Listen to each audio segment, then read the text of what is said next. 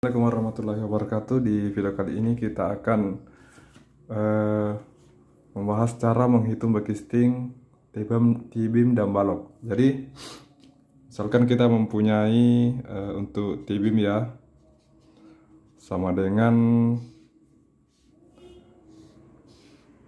tinggi 50,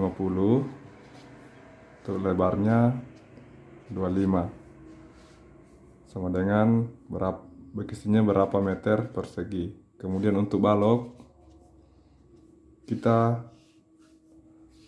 menggunakan juga 50 50 25 ya. Ini juga 25. Berapa meter persegi bekistingnya? Ini beda ya, tibim dan balok. Tibim itu e, di bawah dekat tanah, sedangkan balok itu di atas. Jadi caranya itu untuk menghitung bekisting tibim dengan ukuran eh, 50 kali 20, 50 kali 25 yaitu kita cuma menghitung eh, dua sisi. Jadi misalkan eh, untuk panjangnya misalkan 6 meter ya. Jadi misal untuk panjang 6 meter yaitu eh, sama dengan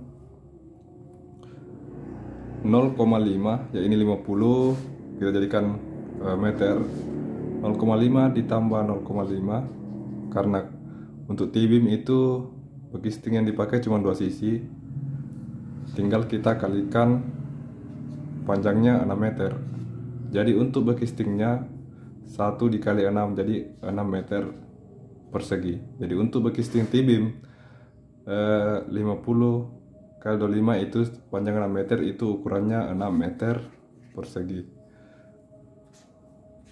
Sedangkan untuk balok dengan ukuran 50 kali 25 dikali panjang 6 meter yaitu jika balok yang kita hitung maka bekistingnya ada 6 sisi ya. Eh dua eh, tiga sisi ya di sini di bawah dan di samping. Jadi dua sisi yang berdiri satu sisi yang mendatar.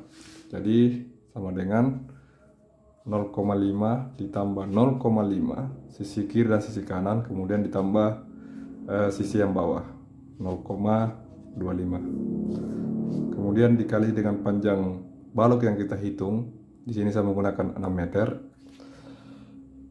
Sama dengan 7,5 meter persegi jadi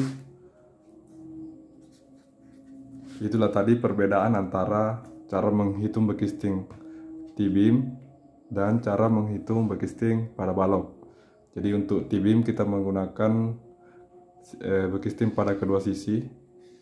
Yang bawah ini sudah lantai kerja ya. Kalau di kalau kita membuat T-beam jadi ini sudah lantai kerja. Sedangkan untuk balok jadi bekisting ini bawah sama samping. Jadi mungkin itu yang bisa saya sampaikan pada video kali ini. Assalamualaikum warahmatullahi wabarakatuh.